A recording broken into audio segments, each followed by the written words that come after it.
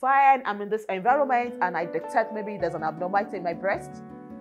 Then right on the application, I can search for a doctor around this my vicinity where I can access immediately for immediate um, um, attention.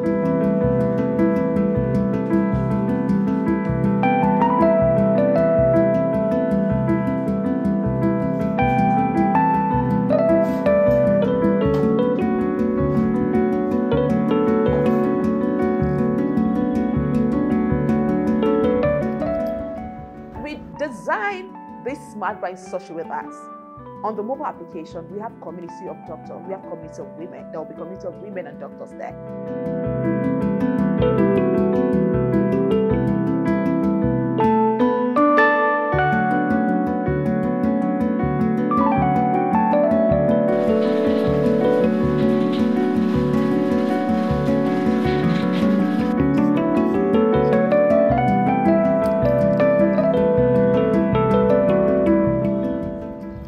To like looking at how we can partner with government to deploy to Earth Center. So even though you can't buy one to yourself, you'll be able to go when it's time for you to check. When government declare, oh, okay, come to Earth Center, come and check your status.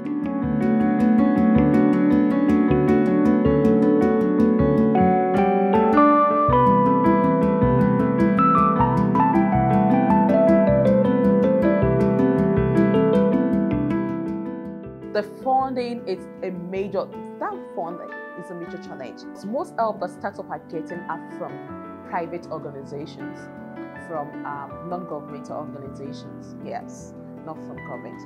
Fine, they have those funds up there, but I don't know, maybe the funds are not even getting to the right source.